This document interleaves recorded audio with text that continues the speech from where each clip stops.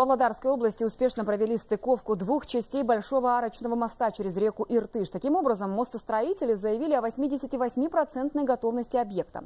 Этот проект – важная часть восточной э, ветки глобальной транснациональной автодороги Западная Европа, Западный Китай. Э, наш корреспондент, как сообщает режиссер Ербул Абишев, находится сейчас на новом мосту и прямо оттуда готов выйти на прямую связь со студией. Ербол, день добрый. Скажите, что сулит Казахстану стыковка этого сооружения?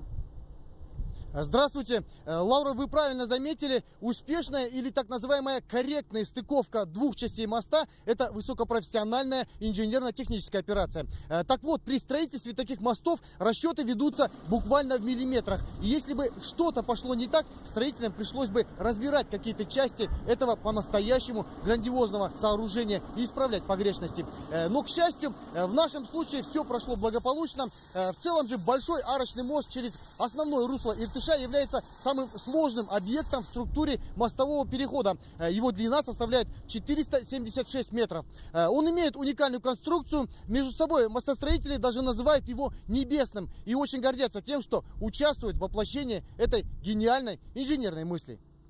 Э, арки будут установлены, как видите, на заднем плане конусообразно. От арок к металлическому строению будут идти ванты, будут поддерживать данная конструкция по максимуму облегчила нагрузку. Мост строится по последним технологиям и рассчитан на самую максимальную нагрузку.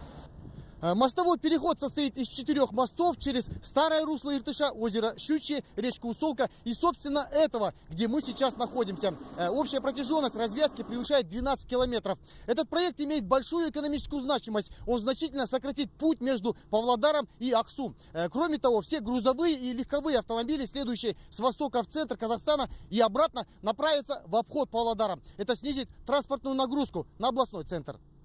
Это очень радостное событие. Мы к этому очень долго шли. Э, мосты не каждый день строятся, мы все к этому рады. Э, добавлю, что после того, как мостовой переход введут в эксплуатацию и по нему начнет двигаться автотранспорт, а это случится, как обещают строители, уже э, в этом году, к 1 декабря, для жителей близлежащего села Кенджиколь появится возможность развивать придорожный бизнес. А это один из примеров мультипликативного эффекта, который ожидается от реализации данного проекта. Лаура? Благодарю. Ербул Абишев стал свидетелем знаменательного события стыковки двух частей арочного моста через реку Иртыш.